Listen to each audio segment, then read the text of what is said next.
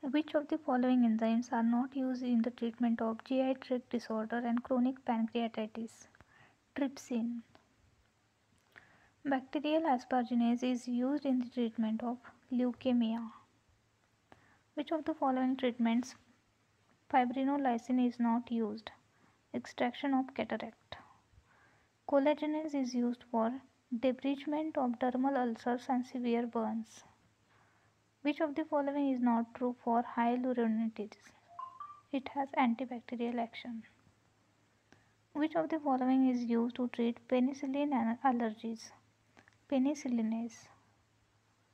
Renin is used in treatment of gastric achylia. Which of the following is used in myocardial infarction to dissolve clots?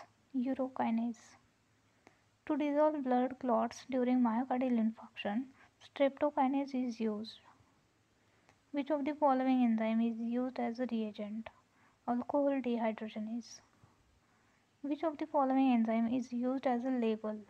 Beta galactosidase.